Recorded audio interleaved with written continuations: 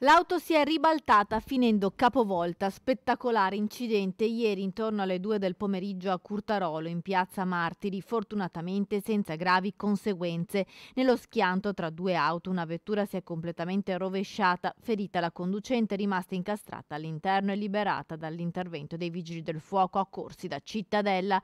La donna è stata portata in ospedale a Campo San Piero per accertamenti. Il traffico ha subito rallentamenti per circa un'ora, poco prima invece all'incrocio tra via Argine Villa Bozza e via Umberto, sempre a Curtarolo, i pompieri erano intervenuti per un altro incidente stradale tra due auto, due le donne ferite. In questo caso una settantenne rimasta incastrata e una trentenne che è riuscita a liberarsi da sola dalle lamiere.